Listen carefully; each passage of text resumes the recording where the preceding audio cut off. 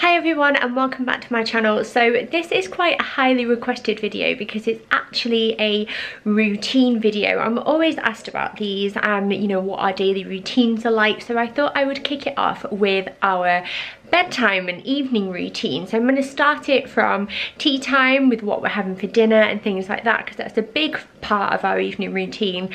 And I've also got a little giveaway at the end. So if you are a bookworm like me and you're into books, then definitely keep watching until the end. But without further ado, let's get cracking. Start of the evening, we are making tea at the moment and normally I will let the kiddos watch telly for a little bit while I'm cooking because obviously when you're near a hot oven or you're chopping things with knives I don't always want them around me um, especially this one who is wearing her brother's hat at the moment. So for tonight we are having chicken tingers for tea and they are like an old El Paso box. You know where you get them all in one thing and you just add chicken and things like that. So that's what we're having and the chicken is all done and we're just waiting about half an hour for Mark to get home and we normally eat as a family around half half five every single day and I'm really really keen on us all eating together as is Mark because I feel like it's a great time to bond particularly when Bill's been at school all day and Mark's been at work all day because I feel like we all get to chat and reconnect and I also think it shows a really good attitude towards food as well because the kids are more inclined to eat what we eat then and try new things.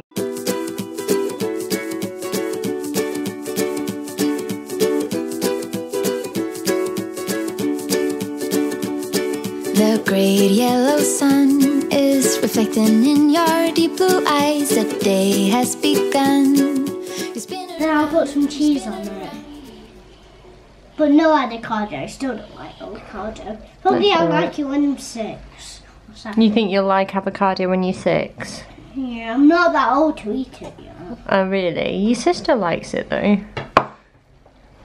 Yeah, sometimes I, I don't like everything. Some, some you, you guys don't like any every food. No, we don't like everything, that's true. So for dessert, the kids are having a nectarine each and earlier on today we actually baked these Dory cupcakes, so Bill is having one of those.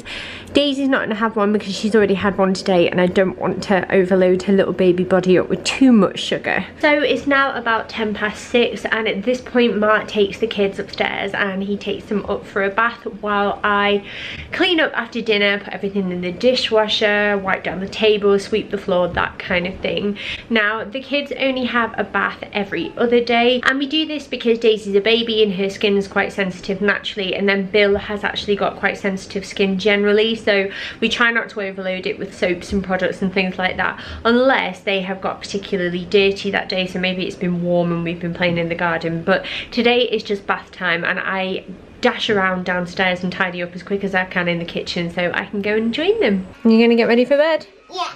Good boy. Because Bill is five, I can usually rely on him to get ready for bed on his own. So I've laid his jammies out and you're going to get ready now, aren't you? Yeah. Come on then. Quick, quick or you'll catch your cold. And Mark is usually in charge of getting Daisy ready for bed. And it's a nice sort of time for those two to just be daddy and daughter without the rest of us being noisy and getting in the way. And then once they are ready for bed, it's teeth brushing time. And we use adults toothpaste as recommended by our dentist. And I honestly think that using this from the get-go also stops that awkward phase from baby toothpaste to adult toothpaste where it's like minty and quite strong because these two are fine with it now. And you're really good at brushing your teeth, aren't you? Mm-hmm. So once the kids are all bathed and ready for bed and they've brushed their teeth, we tend to have a little bit of time just as a family to sort of wind down, cuddle up on the sofa and we tend to do two things most nights.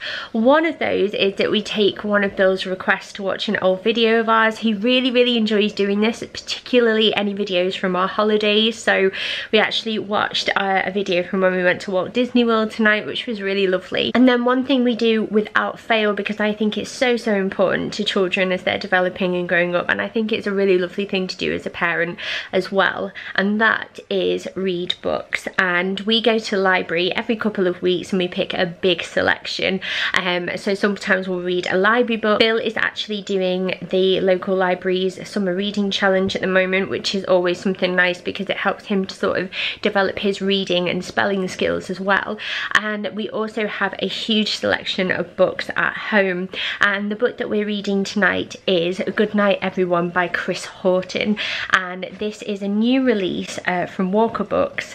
And as I'm sure you'll agree, it's absolutely stunning and perfect for bedtime. The theme is actually sleep and going to bed anyway, so it's a perfect one to wind down to before bedtime and we love to read to both children together because again, it's another thing that we like to do as a family to sort of bond and have a bit of time together. So this little man is very, very easy to get to sleep because you're a good boy, aren't you? And you just, you have one last wee before bed, don't you?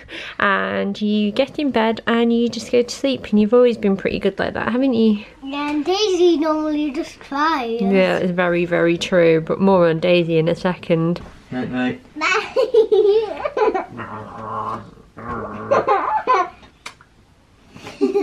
Good night, buddy. Night. Love you. Love you. So, as your brother said, you are slightly more problematic, aren't you, to get to sleep? But she's in her grow bag. Um, this is just a lighter summer tog. Um, and she's got her jammies on as well. And she's had some ibuprofen because she's actually got a cold at the moment and it's just to give her a bit of relief while she goes to bed and we might give her some Snufflebabe as well on her chest just to help with any snot and things like that because it's not nice is it but Daisy always likes to have a cuddle with me before bed. She's quite funny about it. If I don't put her to sleep, she gets really fussy and she can be up and down when she's poorly. When she's teething or she's not well, she can be a little nightmare to get to sleep. And then every other day, she's absolutely fine. So fingers crossed, we get you down on time. Yeah. Yeah. That then, sweetie. Love you. Mm-hmm. Uh, oh, good girl. To cuddle? Yeah. Yeah. I'm gonna go night. Good, good girl. Mm, Good girl. Night night, baby. I love you. Good girl. So now the kids are in bed, that is the end of our bedtime evening routine. I hope you enjoyed it. Now because you've stayed until the end, I've actually got five copies of Good Night Everyone by Chris Haughton from Walker Books to give away. And as well as that, we've also got five special edition Good Night Everyone print to give away as well, which would look gorgeous in a nursery or a kid's bedroom. So if you would like to enter to win, all you need to do is make sure you subscribe to my channel, give this video a thumbs up and leave a comment below telling me what your little one's book is and we will be announcing the winners very very soon. So thank you so so much for watching and I will see you all next time. Bye